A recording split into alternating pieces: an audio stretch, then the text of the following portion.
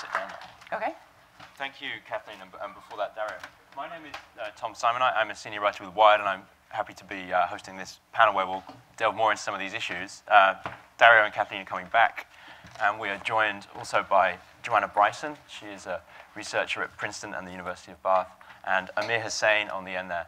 He is CEO and co-founder of the company SparkCognition, and the author of the uh, forthcoming book, The Sentient Machine. Now, um, I thought we could start off by picking up on a point that both Kathleen and Dario made, I think. So when you talk about safety and security in relation to AI systems, um, there's a tendency to go toward, think about intentional evils, you know, maybe planned or plotted by a human or maybe even a machine. But um, in the two talks we just heard, you both made the point that accidents are an important aspect of, of safety as well, right? We need to think about kind of unexpected surprises. And um, Joanna, that put me in mind of some of the work you've done thinking about ethical frameworks that people who build these systems might need to work within, and you know, maybe the idea that we need to audit systems or have ways of doing that. Okay, uh, well, thanks. Um, I, have slightly forgotten the format. I think I have a few minutes to, to answer that question, right? Uh, we're just going to have a general panel discussion. Okay, here, so all right. There's because, no technical time limit, but don't take too long. Right, okay. Well, it, I just, because um, I'd, I'd, really like to respond to the two talks we saw before and, and to reinforce some of the things that the two speakers before us uh, made too in this framework. So uh, it, it's very important when you're thinking about the safety element to realize that in some ways artificial intelligence and natural intelligence aren't different at all. So if you do have two million people sitting hacking, trying to get through, uh, through defenses, or if you have one you know, quantum supercomputer trying to fight and get through the defense. Either way, the right thing to do is to try to solve the, the, the cybersecurity issue. And I'm really glad that we had this talk we just heard about cybersecurity. I want to emphasize you cannot trust AI until you solve cybersecurity. And yes, AI is a, is a issue uh, for cybersecurity as well, because as I just said, you can use it to hack. But, um, but, but the, the, the, you shouldn't be having conversations in separate rooms. You cannot have a system in charge of something when you don't know for sure who currently owns that system.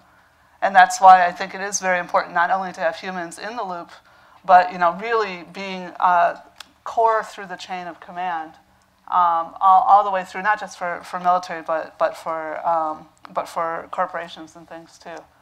Uh, that, that this is a big problem. I, on the other hand, I know this stuff with, you know, the AlphaGo is a wonderful piece of engineering, but I want to emphasize one of the things Eric Schmidt said. It works within a very simple set of rules. So in some ways, it's amazing that a machine is able to uh, beat us at Go.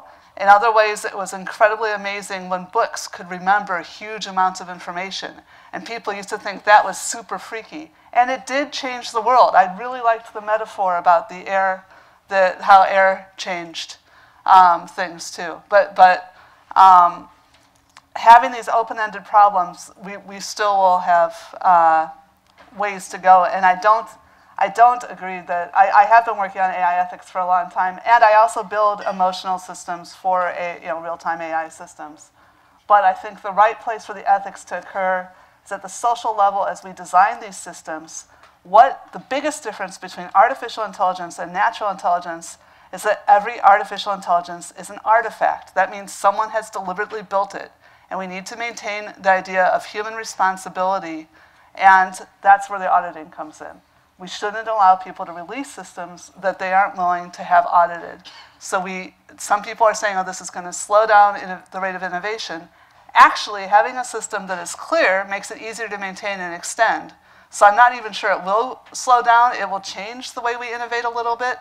But it's absolutely critical that people remain in a position of responsibility. We cannot make the system itself be the responsible entity because it isn't coherent to talk about putting suffering into a system. It's not like an evolved system where that's part of our entity. We are, we are deeply social. We are evolved to be social. It's the same for fish.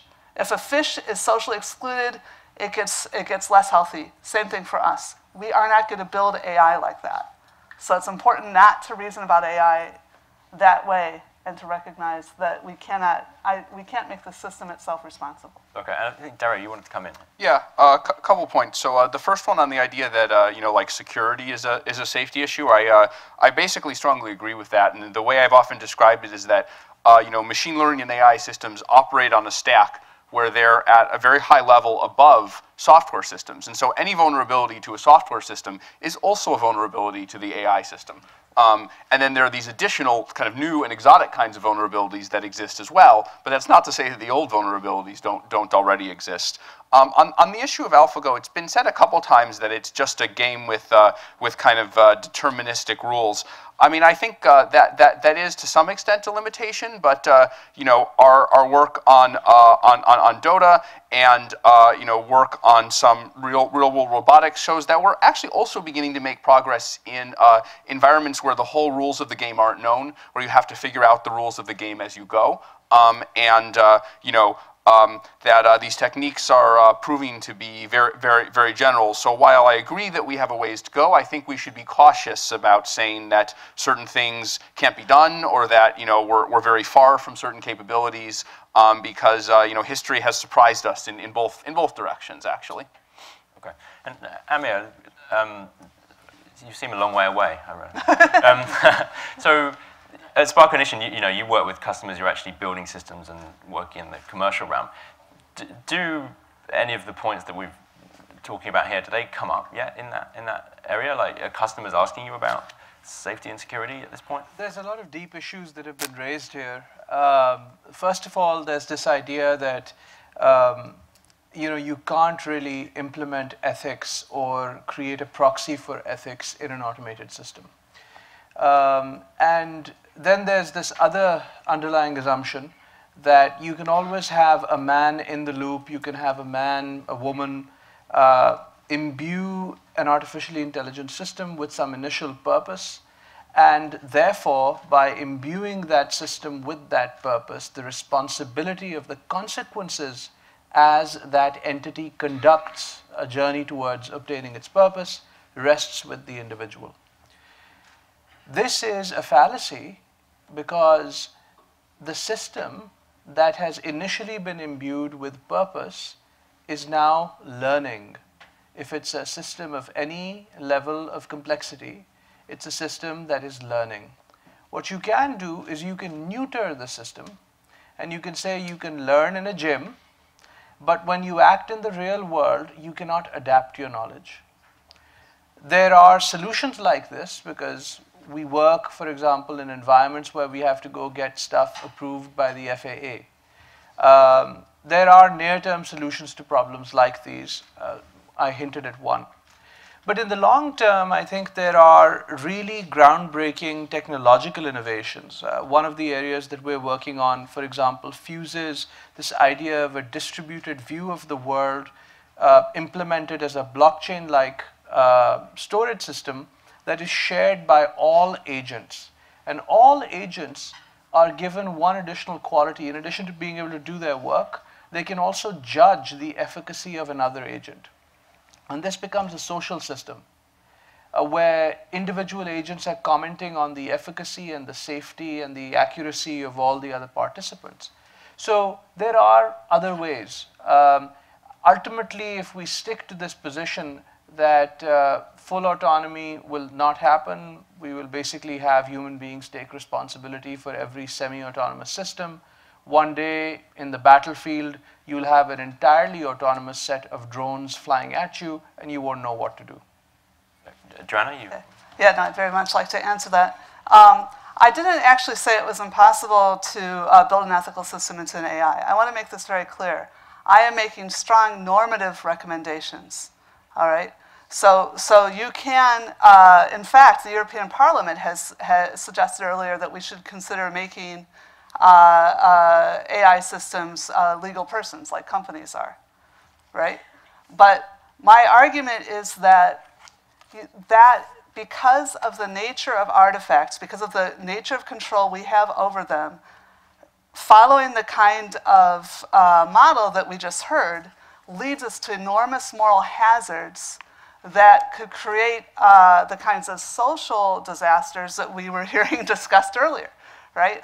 So, so it's important not that, not that we can't possibly conceive. Now, actually, I, I do have a PhD in artificial intelligence from, from MIT. I do actually build these systems too. And I actually am not convinced that we would suddenly be able to create this wonderful world of sentient machines uh, that, that would be stable and live longer than humans. Um, I think technologically they'll just fall over. But secondly, um, I, I think, well, that, that doesn't make sense to, to strive for because all of our, our goals are about our own species. So our aesthetic and morality is about trying to keep this species of apes um, alive on this planet. So I, I, worry about things that displace that. So my, I was making recommendations sure. about the responsibility. And that's a, that's a point of view that, that I've heard often, you know, that all our goals are about maintaining the status quo and keeping the species of apes on this planet. Uh, the only question I would ask you is if you'd rather keep the species of apes on this planet as it is. Because from my uh, short view of uh, you know, human history, the human condition is pretty miserable, and I would like to do everything possible to change it. I think the apes need to probably improve themselves a little bit. We are. So I think it's. I, what are you talking about? Dario, yeah. I, I, think it's. I think it's you know both the case that we can get great great benefits from AI, including AI that's fully autonomous, but also, you know, with some of the kind of uh, like you know, economic and even military races that, that we've talked about, it's fine to set down ethical guidelines that says that you know a human human has to be in the loop, a human has to take responsibility. But there are lots of domains, you know, including you know including uh, cyber cyber hacking, um, you know, probably including many military applications where uh, autonomous, completely autonomous systems and systems that integrate all the information at a high level have a huge advantage in both speed and in their ability to understand what's going on. So, I mean, I, I, I, I kind of agree. It's it's yep. it's a dilemma that uh, we should be very nervous about turning things over fully to machines, but we also have to be realistic about the fact that there there there there are advantages. Now, my my personal uh, uh, view of this, and uh, informed somewhat by by my research, is um, that uh, we may be able to create a kind of alignment with with human values by, in the process of training these systems, we make sure that humans are in the loop when the systems are being trained. That, uh, you know, that while we're teaching the systems what to do, we make sure that the strategies they pursue are strategies that, that humans would, would approve of and that that's where the responsibility lies. But that when we actually deploy the systems, they're going to need to operate very fast. And the particular actions they're going to take are not actions that we're going to be able to supervise, give the go-ahead to, or maybe even understand in detail. So, so if I were to just rephrase that and tell me if you agree. In many situations, you would support full autonomy with human oversight over training, not on actual action execution in the field. That is that, uh, for for cases where for some cases for, for, for, cases where full autonomy has such big advantages sure. that and, uh, and we can't really do, do it without it. Sure, and it just so happens that just take one war, which is a major human endeavor. We all strive to avoid it, but it happens. It's a major human endeavor. There, uh, it's a fait accompli. So the point is that somebody has to invest in the AI research to make those things happen. Uh, I think uh, basically saying, look, never, this is just on a stone tablet, I've carved it and I've brought it down from a mountain, and no system will be autonomous. Don't think it'll work, because not everybody's going to pay attention to your stone tablet. I have, I have, two very specific examples to give, but you haven't had time. I wanted to, wanted to bring Kathleen in here. So you, you gave the example of um, the Cyber Grand Challenge, and um, I was in Vegas to witness that last year. It was maybe the weirdest show ever to grace the Vegas stage, like five uh, liquid-cooled server racks. Um, anyway, it, it, seven, there you go. Um, that was interesting because, as you mentioned, those systems were entirely isolated. You know, they made a big show of you could walk around and, and see that they were not attached to any net external network and so they operated entirely autonomously.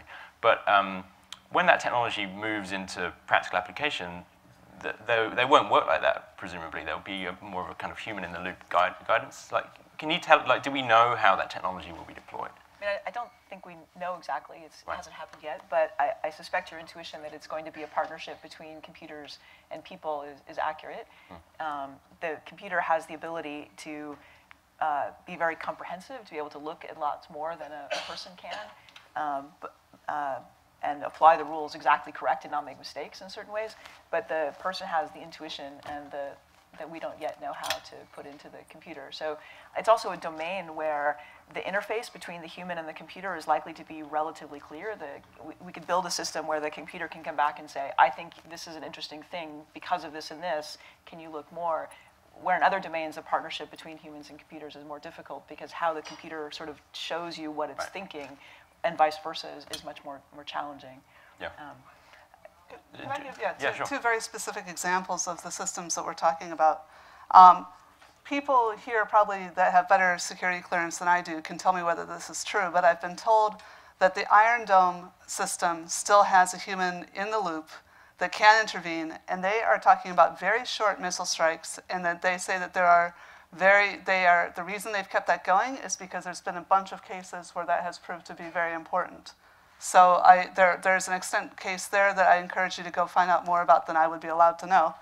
Um, and the second case, which I, again, is slightly secret, but secret in a different way, um, and there was a paper published about it recently, is how Facebook uh, keeps its code base going. So Facebook switched to giving up on having weekly releases and instead just decided that every time a single programmer saw a problem in their giant code base, they could just go in and fix it. And when they go in and fix it, now you can think of this like, like why are you talking about Facebook? It's a toy, right? But it's a massive, incredibly complicated software system that a billion people use, right? It's, it's huge. And, and the, the, um, what they do is they, have, they run a test, they run a small test suite that the, that the user has to use, then they roll it out to 1% of the possible users, and then they have constantly, uh, not, not just the humans, who will, of course will complain, but also software systems that are watching for any kind of weird thing that might happen. And I would imagine that this is the kind of way that we're going to keep humans in control, is that we're going to design our systems around, first of all, making sure the core humans are, are, are um, are, are empowered, know where to go if there's a problem, report it, that kind of thing. And secondly, that we'll have a whole ton of AI processes basically that are gatekeepers. You know, they're watching the fences, the AI technological fences, and noticing when you exceed some kind of parameter. But that would be the way I would expect this kind of system to be working. And uh, Kathleen, you previously uh, ran, I think, a DARPA program that was thinking about how we build AI systems and trying to make it a bit, it was kind of easier and also more understandable. Is that right? Oh, right. So that's about uh, probabilistic programming languages. Right. Um, so uh, right now, a lot of machine learning techniques work kind of only from the data. They don't have a model that they're starting from. And there are some AI researchers who argue that if you have a model, that's bad because you're prejudicing the, the data. Um, the, you're like, your, your model's going to be wrong, so why start with a system with a wrong model? Um, the, the premise of the, the PAML system is that purely data-driven approaches are, are not going to be the only answer in the long run, that we have a lot of information that we already know, that we can codify in models, and we can have a sort of a hybrid approach where you have both the model and the data, and that that will then get you a better uh, solution in the long run. Right now, like machine learning is having this huge heyday where there's tons of, like once we developed this technique and once we had enough computer cycles and enough disk to have enough training data, there's lots of these kind of perception problems that machine learning and, and neural nets of various flavors turn out to be fantastic at. And that's kind of, we're like picking off all those low-hanging fruit areas right now but we're going to reach the end of that, that path. And I think that that's what was mentioned in the earlier presentation, how that kind of layer of the AI stack is at a mature level. And the, the program at, at DARPA was focused on kind of helping to go to the next level where we're integrating programmers, you know, model that we know about with the data to be able to get much better answers faster. So an example of this is handwriting recognition, right? You can use the low-level machine learning techniques with no models to do handwriting recognition, but you need tons and tons of data of, you know, different digits that people have drawn to be able to do that, and it has to be classified. You know, somebody has to give you labels to tell you what the right answers are. But instead, you can write down a very short model of how people draw numbers, and then you can have like like two examples, or you know, one example of each number, more or less, that fits the parameters of the model, and then like you're done. So no training, of- you know, essentially no training data. So that's an example of how merging a model in can make a big difference. And that's how AlphaGo Zero worked too, that they basically came up with a much better representation so that learning was faster. You know, Right. Okay. So, Yeah, uh. I, I mean, I, I, I definitely kind of, uh, you know, think that uh, this this approach of kind of, you know, take the, you know, take the perception system and kind of add add, add our knowledge to it. I mean, it's, uh, I think it's a it's a really reasonable thing to try. It could be uh, the way the way that we end up going forward. but I think we should also be careful because there's kind of another direction that I think things could go, and we, we don't kind of know uh, which one which one it's going to be yet. Which is uh, often when you take when you you know when you're training these AI systems, often you can just take a whole bunch of different kind of sources of data and views on the world and uh, just throw a massive amount of data and hardware at it and uh, just kind of you know tra train it across across several abilities and it kind of learns to sort out everything on its own. So there have been a lot of good results on uh, like uh, captioning images and soon captioning videos. So you know you, will show an AI system an image, and it'll say you know this is uh, this is some some uh, you know children playing with a frisbee or something like this. Um, and that you know that that combines language skills, vision skills, um, very rudimentary reasoning skills, although we're not really that, that good at it yet. And it's an open question whether to really get the reasoning components in, we need uh, kind of, you know, like, like new ideas, ideas from more traditional areas of AI. But we should also keep open and at least be ready for, in case it happens, the possibility that this kind of seamless, seamless integration of everything is possible. Because if that's possible, I think we'll have systems that are, it's harder to understand what's going on inside them. Transparency will be harder. And it will be harder to get humans in the loop because when you have something like a vision captioning system, there's no discrete boundary between, you know, what are the objects in the, in, in the, um, in the image and what you know how, how do I parse that in, into language. It's all just a it's all just this kind of formless set of numbers that, that flow flow throughout it. And so if, if that ends up happening we're going to have to think a lot about how to make these systems sure I mean do the, what we want and, and the, the criticism that neural networks, connectionist systems are black boxes, there's a lot of work happening there. DARPA's funding explainable AI. There's a lot of companies doing work in that area. Um, the issue is really on, on autonomy. There seems to be a very um, sort of broad view, and it's a far more nuanced conversation than I think a broad view can support. Let me give you an example. There's two specific engagements that I've been involved with. Uh, one of them has been the development of an autonomous takeoff capability for a large aircraft. And one of the challenges as you're taking an aircraft off is uh, you can experience a condition that's called rejected takeoff. And what that is, is that at a high speed, say if you're in a large commercial airliner, somewhere between 80 and 120 knots on the runway, you can see some kind of a system failure and very quickly looking at a large number of individual sensors in the cockpit, you have to make the decision whether you want to accelerate and try and use the remaining runway to actually take off or whether you want to stop. If you make that decision incorrectly, you can wreck the plane. You can either run out of runway or you can take the plane off and the plane isn't sustainable. So it's a very, very life and death sort of a decision. And the other problem with this is that it doesn't happen, well, thankfully, it doesn't happen too many times. So it's not the kind of thing that you have tons and tons of data available to train, you know, a run-of-the-mill type uh, application on.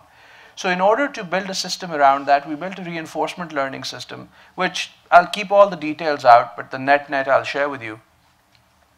It cuts down two seconds off of the RTO decision when compared with a large average collected across many expert pilots. Two seconds as a plane is speeding down the runway is the difference between a comfortable stop and death. And the quality of the decision in each case where the systems made that decision st with statistical measurements, you can show that they are better than very qualified human pilots. I don't want to say best human pilot because I don't know what that is, what ranking system, but very, very good human pilots with dozens of years of experience, military experience, civilian experience. If you allow a human being to interfere with that, you lose all of the benefit of that system. The only thing that a human being will do in interfering with that is just get people killed. That's one example. And it's a practical example that is in place today.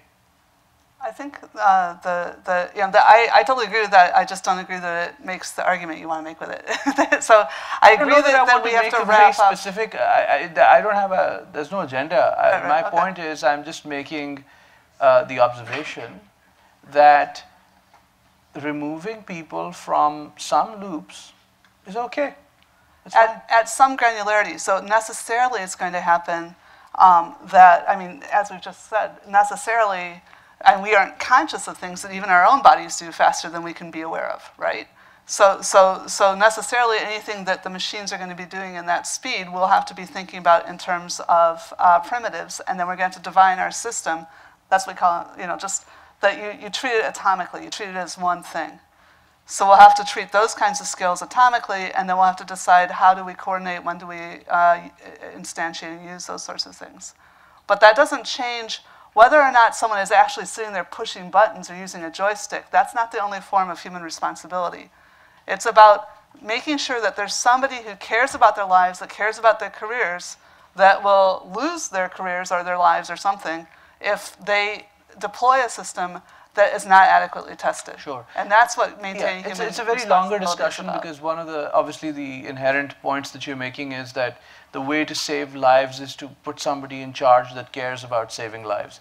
And modern science would suggest that there are many other ways of saving people's lives. Also, it's not just that unless there is a person that cares about saving lives, in no situation can lives be saved. In fact, that's at the heart of a lot of the debate around AI and a lot of the outcomes, the inventions that AI makes.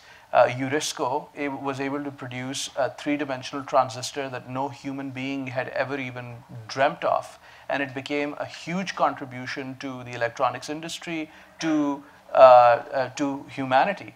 Eurisko, I don't think if you asked it, would tell you that it cared about humanity, but it gave one of the most amazing uh, gifts to humanity. So, uh, but but that's uh, I, Our, our I, only I, debate I'm going to ruin this for you. I'm going to ruin this for you. Keep no, going. I, no, I, no, I, I, I'm not, I, I am in no way challenged by the kinds of systems I build. I'm, I'm perfectly happy that they do well, and I take credit for the things that happen in my lab.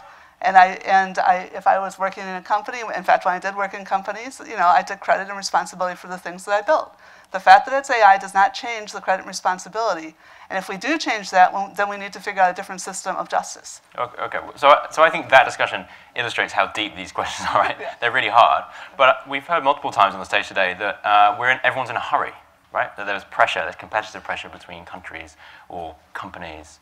Um, you know, everyone wants to get there first. I mean, Kathleen, you mentioned that you think an arms race in sort of uh, intelligent in some way, cyber weapons is, is inevitable and, and already happening, you think? I mean, is there evidence that that's the case?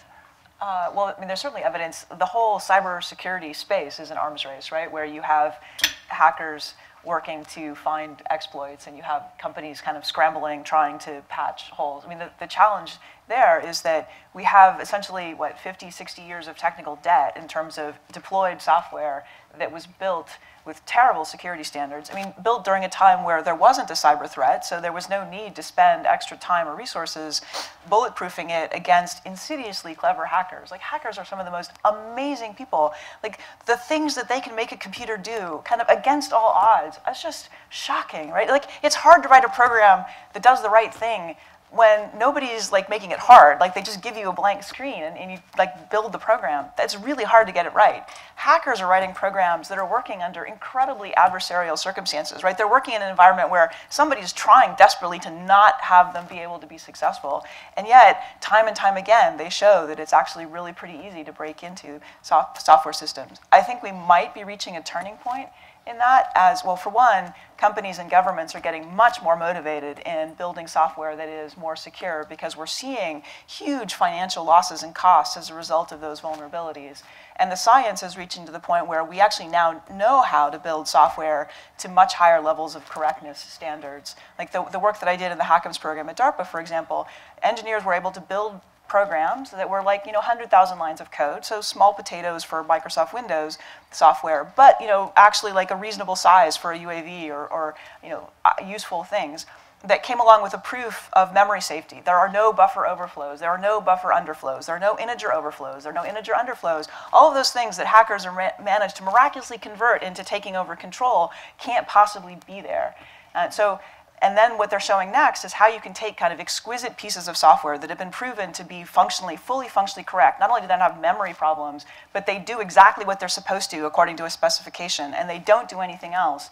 And, and leverage that. It's like the SEL4 microkernel, which was built out of NICTA or Data61 in Australia, is a microkernel that allows you to partition the programs running on a computer so that they can't interfere with each other. They provably can't interfere with each other.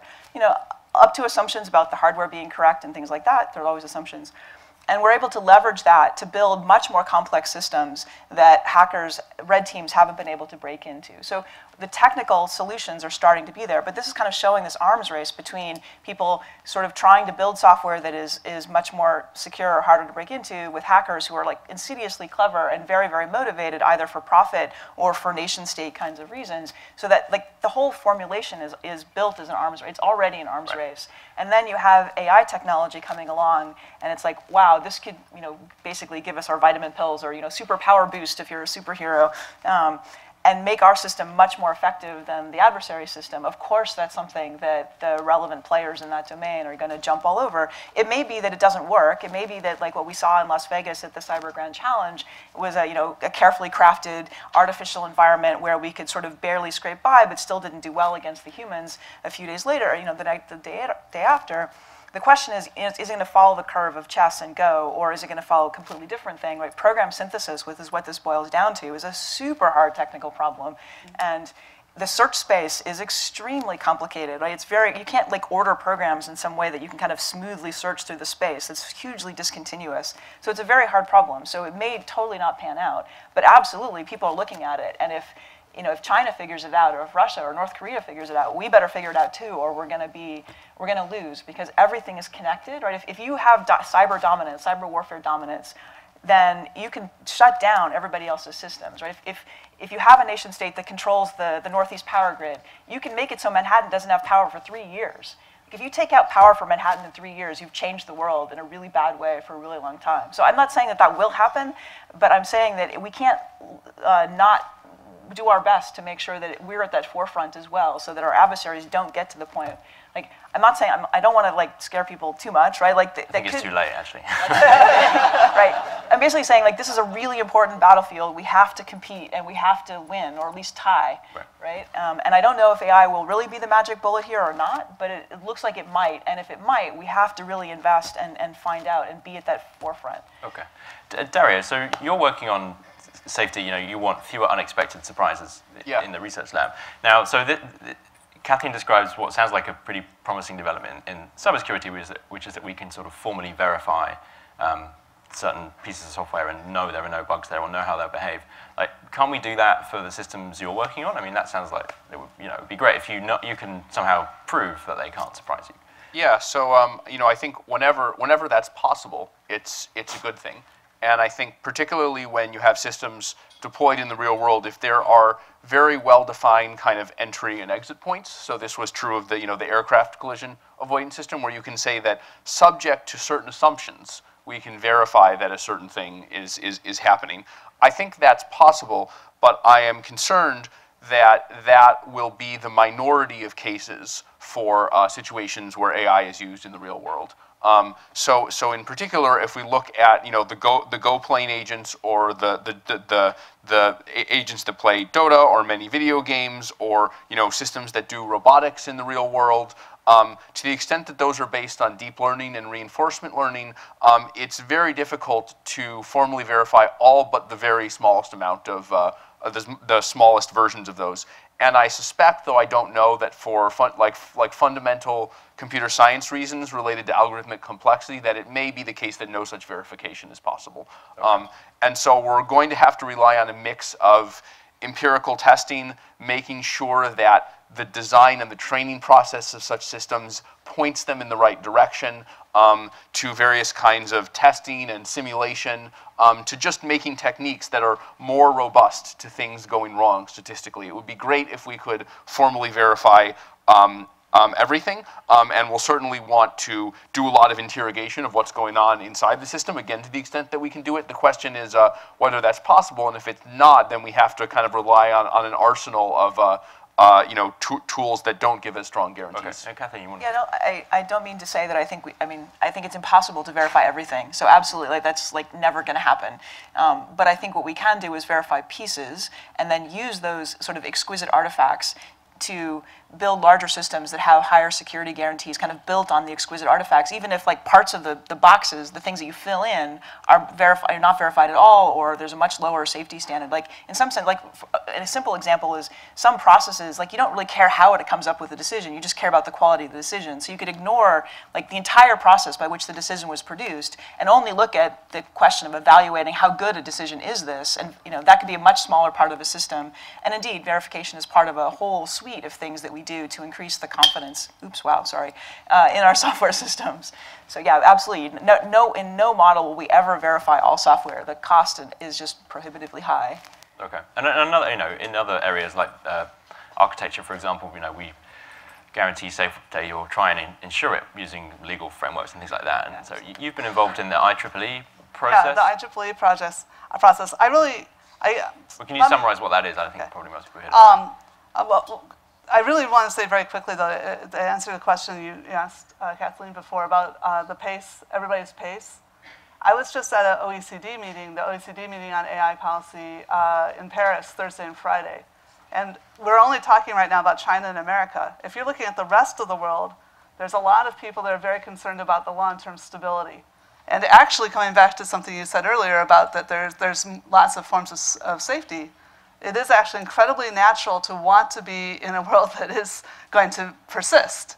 So I do think there, there are a lot of people thinking about how can we cooperate, how can we do things like Eric Schmidt mentioned about releasing the, the, the software and making sure all the nations are on a level playing field. So, so don't feel like there's only the arms race. I do think that this encryption stuff is incredibly important to maintain that kind of security. But there is a lot of people working on how are we going to stabilize societies and the those other kinds of big questions um, about how AI will be affecting uh, human life.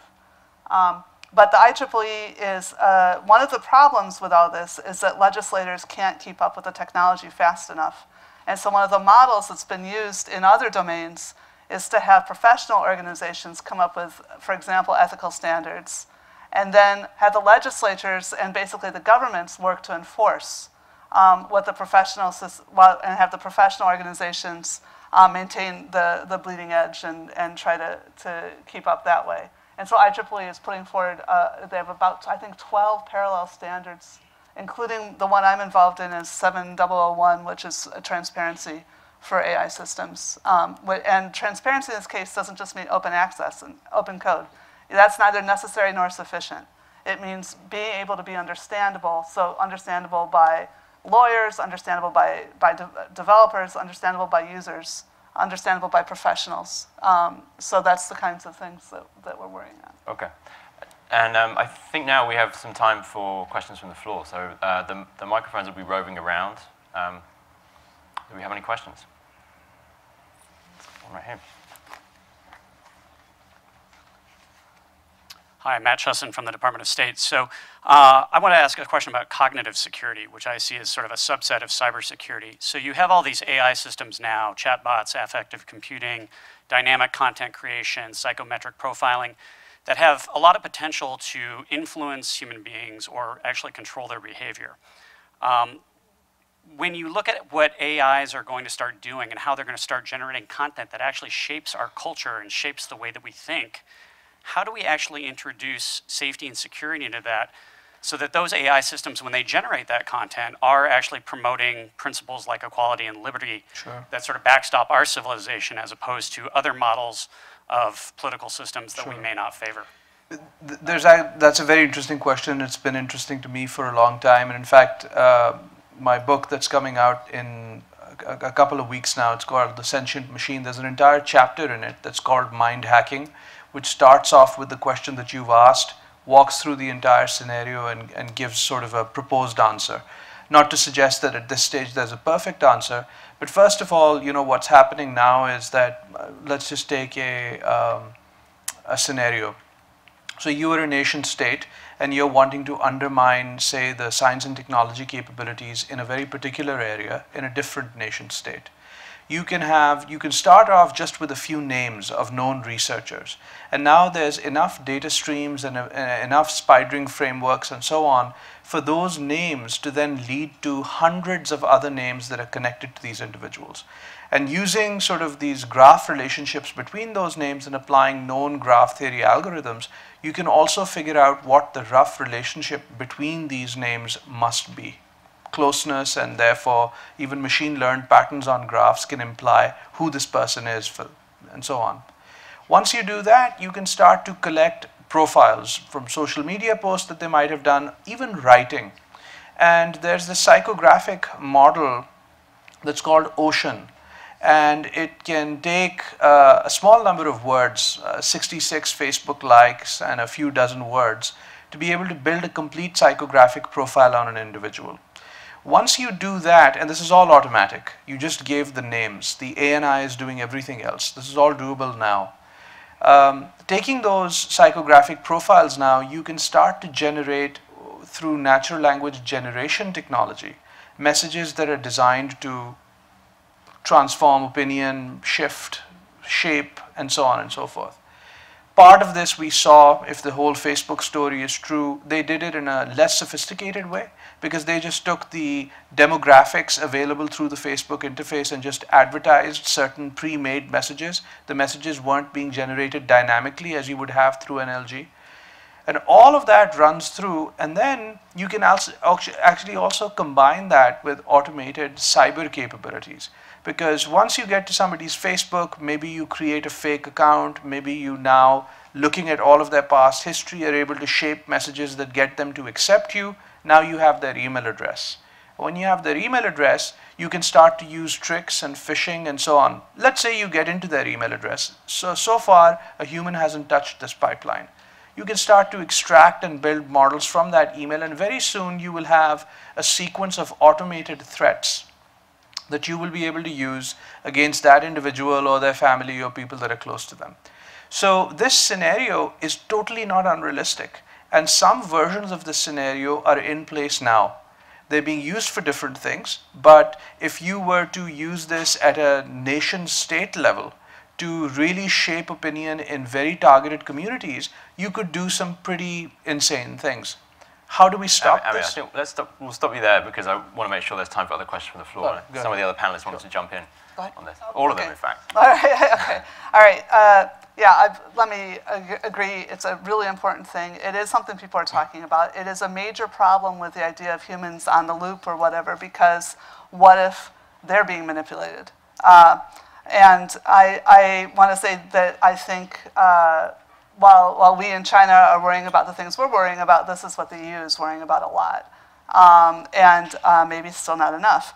And actually, going back to something you said very earlier, much earlier, about that, that, cyber, that the cyber warfare is going to be like airplanes, like fundamentally changing what uh, the nature of warfare. Um, I, I, I hesitate to, to, to, okay, I'll just do it. um, one of the definitions of warfare is having your uh, infrastructure destroyed. And so that might happen without bombs. And you might actually convince people to, to, to uh, destroy the infrastructure of their own nation states. So, for example, you might convince Hungary to get rid of the CEU, even though it's one of their, their best uh, uh, higher educational system. Or you might convince a nation in the EU to leave the EU, um, and it might be one of the two military uh, uh, powers within the EU. So it's possible that you could say we already are, um, this kind of instability that we're seeing now tends to correlate with inequality. It doesn't correlate with the amount of AI, uh, but we had exactly this kind of situation in World War I, and we might be in the equivalent of World War I already. Kathleen? Yeah, so I was at a workshop actually on Friday that was talking about exactly this kind of question. And one of the people who was there, danah boyd, was talking about how, for a variety of reasons, society is in a place where many individuals' a sense of identity is threatened. And one of the consequences of having a threatened sense of identity is that you're susceptible to uh, basically brainwashing, right? That's like when a group brainwashes you, they take you, they, they deconstruct your identity, and then they build you a new one.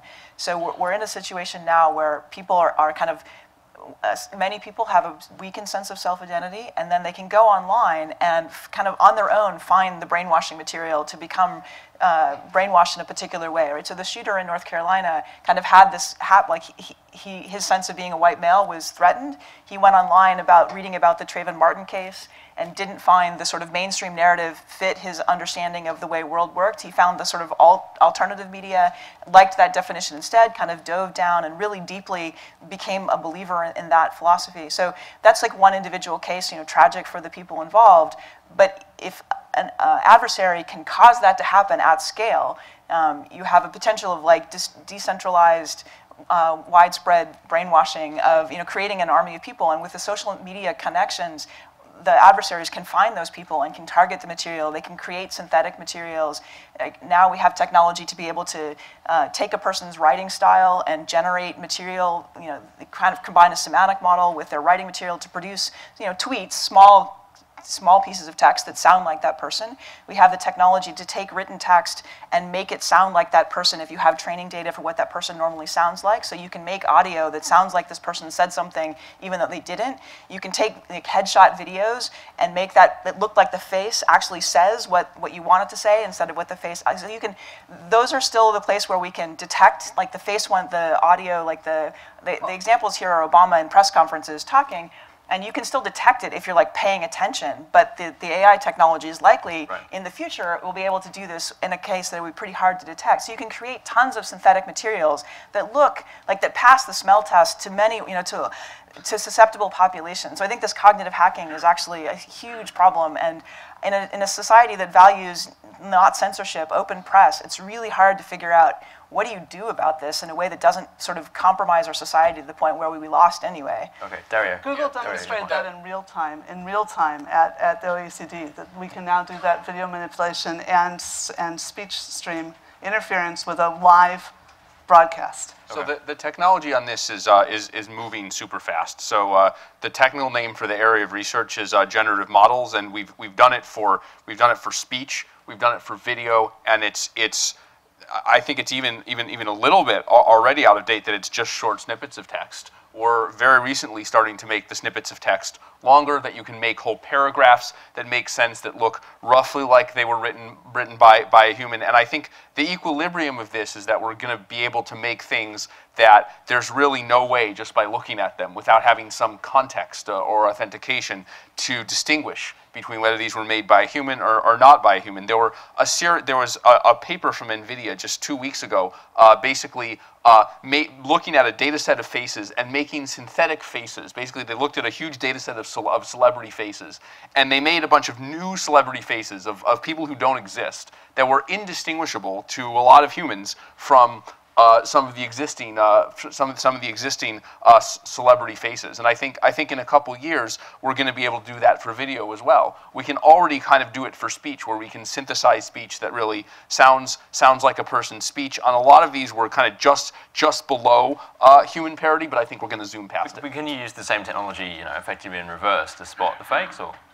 Uh, so you can, but I think the equilibrium is that you're not going to be able to tell the difference, right? It's Right. like if you have a, a money counterfeiter and, and, and the mint, and they're fighting against each other. In the end, the counterfeiter the, the counterfeiter wins. Okay, right. This let's is like no, let's move on and have some more. Exactly. Um, more questions from the floor. I hope there's one at the back there. I think. Uh, hi. I'd like to follow up on that question just from a, uh, the other side of it. So we've been talking about it from the threat side, but what about the risks of sort of benign manipulation? So we say that we want to use AI to improve decision making. What are the risks that we end up just creating artificial sycophants that indulge our own cognitive biases and tell us the things that we want to hear? a la sort of like the Facebook newsfeed bubble. Facebook isn't designed to give you the best news, it's designed to give you the news that you like. So, how does that figure into design? Sort of what are the risks in that sort of area of inadvertent psychological manipulation? Kathy. uh, you know, one thing that comes to mind is the work being done at CMU on uh, bias in the data that is being uh, trained, right? So i- i- AI, like, there's a lot of oh, well, an AI system said this, so it must be right. It's like, well, no, an AI system said that, so its model based on the training data said that that was the most likely outcome. But there's, you know, there's a lot of research that shows that if your, well, if your data is biased, your outcomes are going to be biased. And so I, people are, are working on trying to figure out, like measuring, is it biased? And if it is, like what do you do about the fact that an algorithm might be biased? This is used for things like, you know, job screening for candidates for job positions or loan applications and things like this where the, the data, you know, skews along racial lines. Um, Actually, I was uh, one of the three authors of the paper that was in Science that showed uh, that if you just use the English language web, you will get uh, the same implicit biases that, that Americans show. Um, uh, for, for racism and sexism. And also that you will, uh, re, re, uh, your sexist attitudes about who's a programmer and who's a nurse or whatever uh, have a 90% correlation with the actual proportion of women in those jobs. Oh, interesting. Yeah. I think we've got time for one more question, if there's one out there. One on the front here.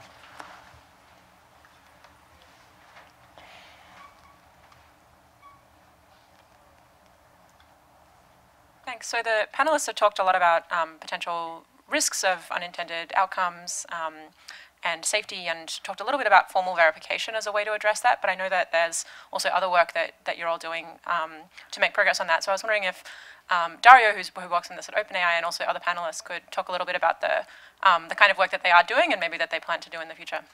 Sure. Sure. So uh, a lot of the work that uh, that uh, I and the people on my team are, are currently doing uh, has to do with one, one way you could describe it is, is a thing I said earlier, which is that while there are some contexts where a system has to act so fast that a human can't supervise it or even be helpful in what it does, that uh, can we still design the process by which the system is trained from scratch, such that the things that it would do are things that humans would approve of? Um, and so in particular, uh, you know, we take reinforcement learning, which is, you know, this, this standard method that's been talked about several times here that is used to train uh, AlphaGo and the DotaBot and a lot, a lot of things in robotics. Um, usually that's given kind of a fixed reward function, a fixed criterion for success, and uh, we've developed a method where that reward function can be developed over time by the machine using feedback from humans. So the machine acts, it presents some examples of its behavior to the human, the human tells it which behaviors are better, and then it incorporates that into its training loop. And so during the training process, the human and the machine act in concert, and the machine begins to understand what the human wants, and then to act on what the human wants. Then, at actual test time, at deployment time, when you would actually use the system, the system can act completely autonomously, but it contains within it self the knowledge of what it is that the human wants it to do. That may not be enough, that may not be the only thing that we want to do, but it's one solution for cases where a system has to act so quickly or just knows things so much better than humans that we can't, uh, you know, we can't supervise it while it's acting. Maybe we can supervise its process of creation.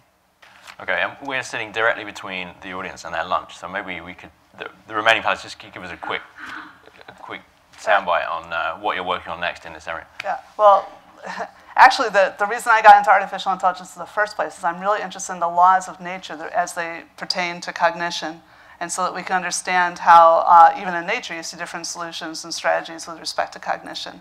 And so I'm actually trying to work on, and that led me into working on public goods because exchanging information like this is a public good. And uh, now I'm working on political polarization and uh, why it's correlated with economic inequality. However, um, in order to do this stuff, I, I did a PhD in, in, systems AI. So how do you put together an AI system out of the box? Is, so exactly what Andrew said is, is now the big thing. I'm, I'm glad to know my PhD is now coming in finally.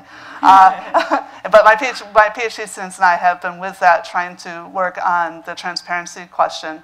So how we can get people over this hurdle of, of over-identifying with artificial intelligence and we've shown that just exposing even uh, the basic uh, real-time development tools and debugging tools, the same things that help developers do actually help ordinary users. Okay. Uh, Amir, so you're in a different environment to these researchers, but you still Absolutely. So our work, I mean, we're doing several uh, areas of work in safety, but primarily we're looking at swarm systems, and we're looking to produce uh, basically these shared uh, stores of the world, a shared worldview, if you will, uh, amongst all the members of the swarm. And the active members of the swarm, swarm in some sense, are a democracy.